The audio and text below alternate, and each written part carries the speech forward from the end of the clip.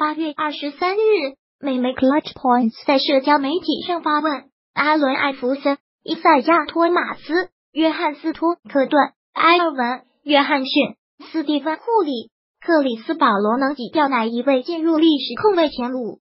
九届助攻王加中老一队的斯托克顿，手握六冠的魔术师，在活塞拿二冠的微笑刺客，目前四年内度三冠加二 MVP 的库里，前五里加了更多打得分后卫的艾弗森，美媒却没加入这总冠军的基德。二零 MVP 的那时，在提出这个问题的时候，美媒或许已经对保罗的生涯地位提出了质疑。明明看去保罗打球还不错。为什么他的 NBA 地位经常会遭到质疑？换而言之，为何保罗现在很难进入 NBA 历史控卫前五？这里章鱼不妨带来三大原因，本文或许能告诉你这个问题的根因。硬性荣誉缺失，NBA 真正的硬荣誉，核心地位的总冠军 MVP、FMVP、DPOY 决定名人堂地位的得分王，以及大量一阵一防的次数。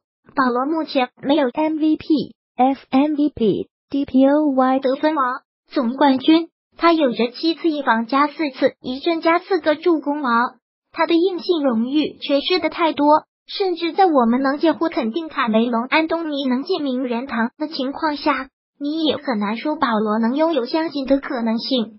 带队能力不足，当年的快船队有着三巨头阵容，小乔丹加格里芬是联盟前五的中锋加大。前锋道格里夫斯是总冠军级别主教练，不谈总冠军、总决赛，保罗带队多年，连西决都没进过。保罗个人数据从来都不差，在詹姆斯、哈登身边，他还能拿场均十八点六分加五次篮板加七点九助攻加命中率百分之四十六的数据。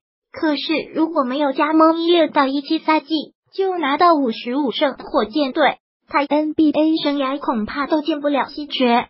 他给球迷在带队上印象里最深的还是“五十八”这个词，行为影响声誉。保罗在球场上的小动作很多，这是球迷有目共睹的事情。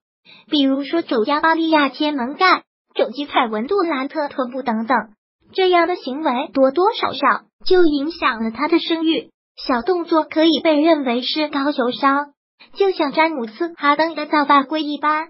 可是这样的行为。往往是褒贬不一，主队球迷会认为干得好，他对球迷认为很糟糕。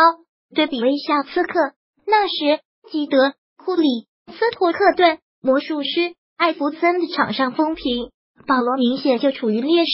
当然，未来保罗能否进 NBA 历史控卫前五，章鱼这里却是不得而知。可是，在本文这三大原因的背后，保罗进入这样的榜单是有难度、有争议的。加盟火箭队之后，保罗近乎已经失去了证明自己带队能力的机会。在 MVP 球星詹姆斯、哈登身边，他已经不再是第一核心。希望他在火箭队未来能拿到总冠军。毕竟这不他进历史控卫前五，至少前八名人堂这件事百分之一百确定下来吧。